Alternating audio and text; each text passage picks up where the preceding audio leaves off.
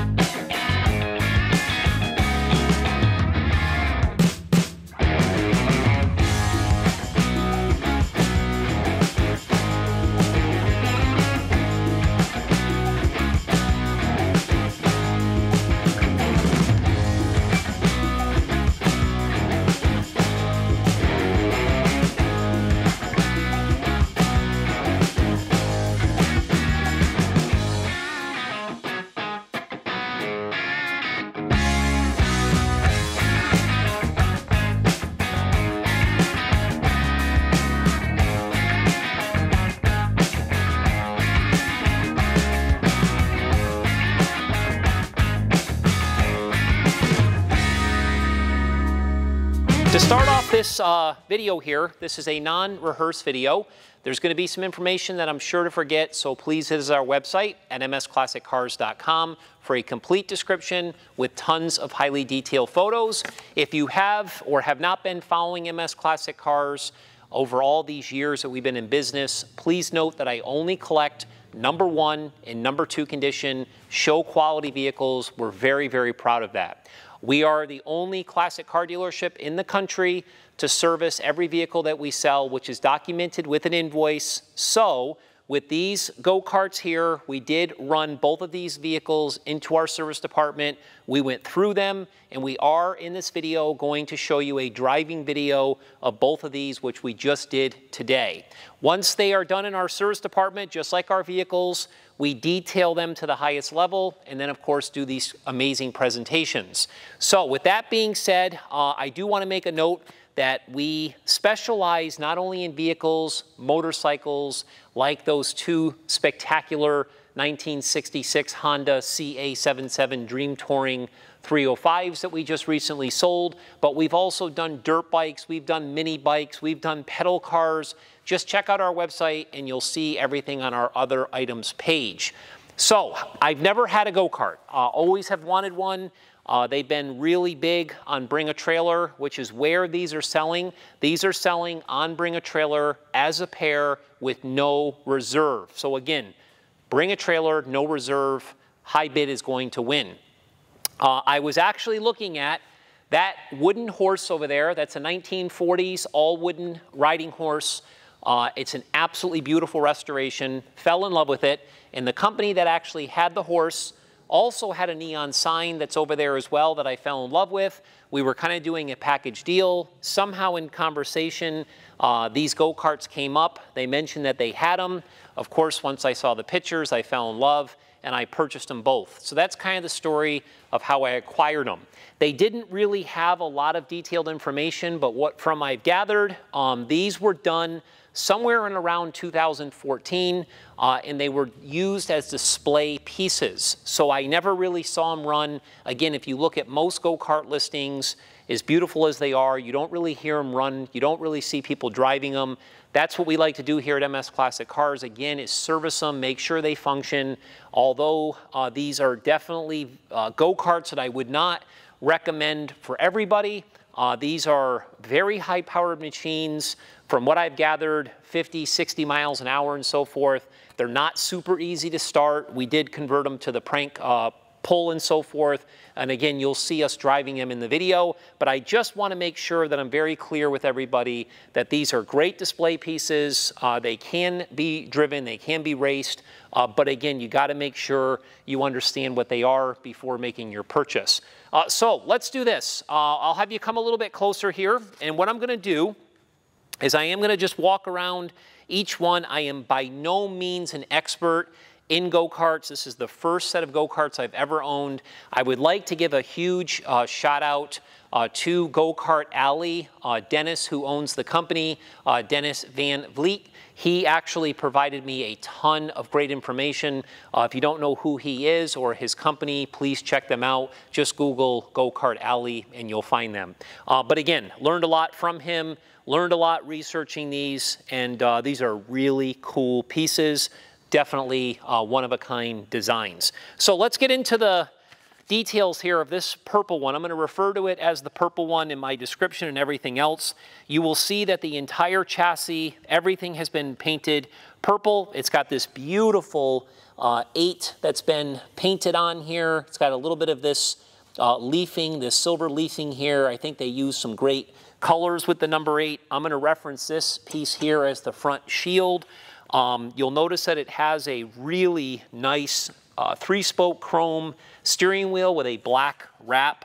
Uh, it's got this really nice upholstery. This is brand spanking new upholstery, definitely padded very well on the sides, the back uh, in your front section there. It does have a rubber foot pad uh, down below. The front tires are actually Vintage Speed 50th anniversary. They're 11 by 3.5-5. These tires are brand new. They're never used. Keep in mind, these are very hard tires. They can be a little bit slippery.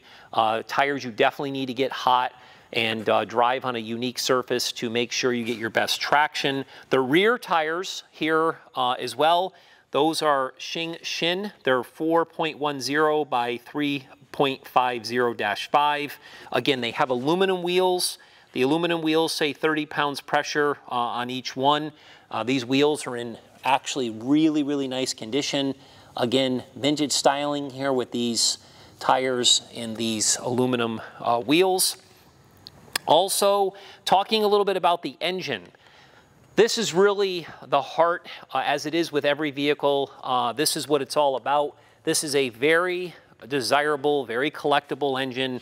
It's a McCulloch Corporation MC92. It's a two-stroke engine. These produce a lot of power. This particular one, in case anybody wants me to reference it, the model number is 400165D. That's D as in David. The serial number is 15-16610. Again, this is an authentic MC uh, 92 engine. It has uh, a lot of accessories and so forth on here that you'll see. Uh, the first thing I'd like to mention is the Tillotson uh, HL304WXA carburetor. These carburetors, from my research, were designed by team uh, at the uh, EC Carburetors. They're kind of a racing carb. You'll notice this little screens here. We've got this little item in here to keep the dirt out and so forth, uh, but this is a really unique setup, and you'll notice this really uh, unique uh, exhaust on there as well. Again, a really cool motor. You can look up these motors online, uh, check eBay and so forth, or some other sources, and you'll find that the engines that need full rebuilding, uh, ones that are in parts and pieces and everything else, are being advertised from $1,500. I've seen them as high as $3,000 for these engines. So these engines in themselves are very, very valuable. Um, again, you got to do your homework on that. As I mentioned earlier, we converted this to a pull start uh, just for easier starting purposes. There's a bunch of different ways that people start these. Once they start and they're running, you know, they're meant to uh, uh, produce high RPM all the time, you know, track racing and so forth. Um, it does have a max torque uh, clutch. Of course, this is a live uh, axle down here. It also has a rear disc brake that you can see here as well. It also has a red sprocket that you can see when you come on the other side over here. Uh, but again, this is an absolutely beautiful condition. And last but not least in the front here, we do have a Lucky 7 Power Sports aluminum uh, fabricated gas tank, which is actually right here.